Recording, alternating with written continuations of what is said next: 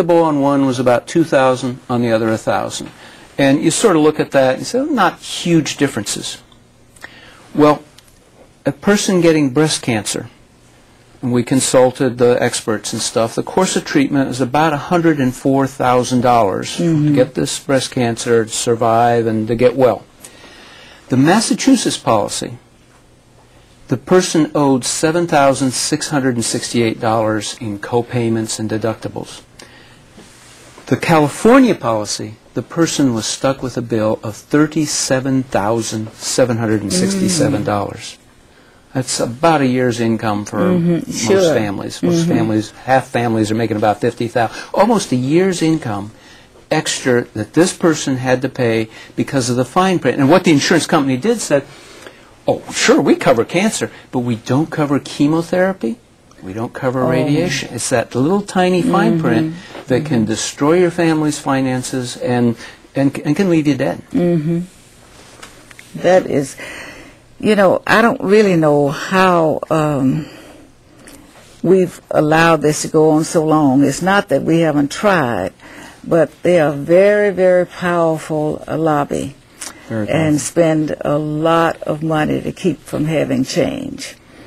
Uh, our current president says there will be change, and I hope he's right. And I know that the American people will appreciate it when we ever get it.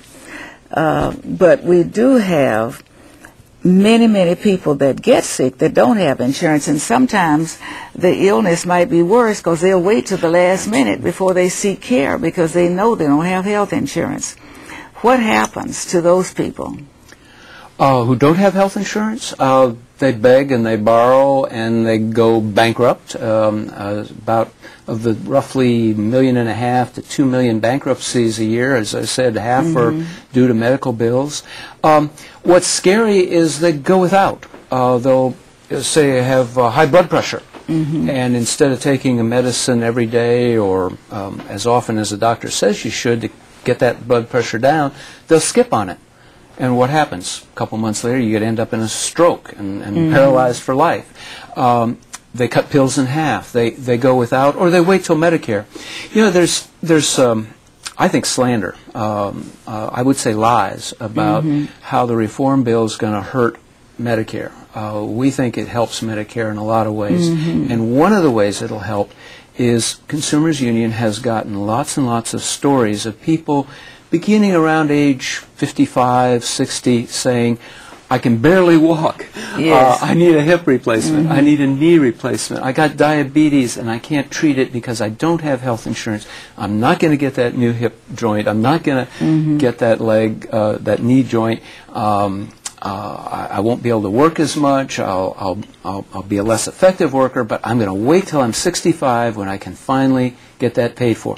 So what happens? They turn 65 and they rush into the Medicare and they get these expensive operations or they try to get caught up on their diabetes, and that increases the cost of Medicare for all taxpayers.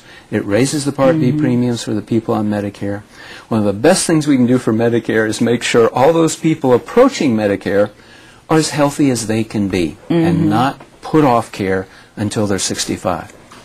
Um, it seems very simple to us. Well, I, I've heard of people, uh, uh, there have been people that tell me that if you go to the hospital, or have to go to the hospital, accident or whatever, and you don't have health care insurance, that you have to put a cash deposit down, or they might have to wait until the next day when the bank's open so they can put something down. That seems to be uh, rather common practice now. It it shouldn't be. There's that, that law they passed back in '86, EMTALA, where if you show up at an emergency room and you're bleeding or you're in active labor, uh, or you have other signs of, of you know you're in serious trouble. Uh, not not that you got the sniffles or the flu or something, but if you're in serious trouble, they can't turn you away, uh, even if you're uninsured. Uh, that's just good Samaritan, Yes. good Bible, good good practice as a country. Um, uh, people who show up with, oh gee, I think I got the flu.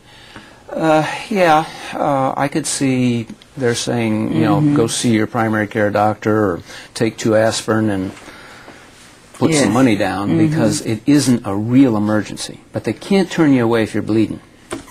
Well, and that's what's happening a lot in Texas because uh, uh, people, especially that don't have insurance, and sometimes those with, with some types of insurance, don't get primary care. Right.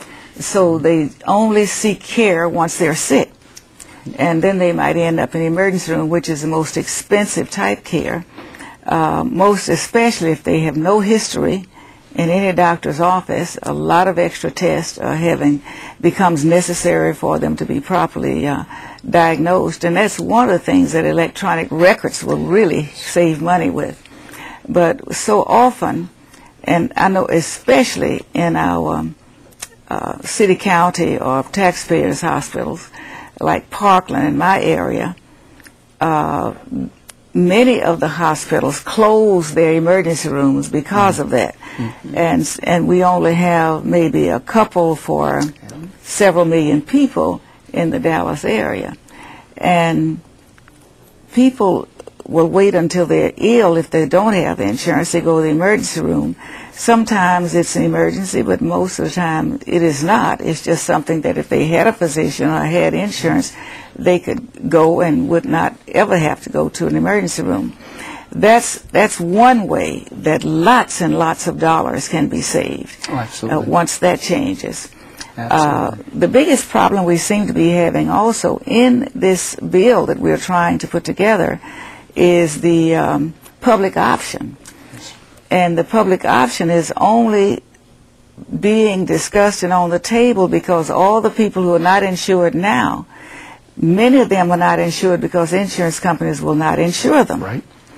And we're trying to create a way of which they can purchase a policy and be insured.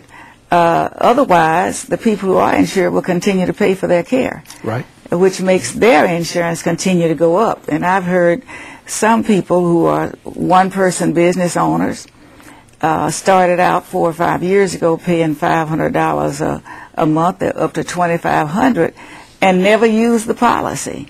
So um, it's just insurance companies seem to have a very broad range to bring in what they want to bring in when they have people at a, in a point where uh, they can't do it any differently because we don't have that many health insurance companies and they all charge about the same. Right, right.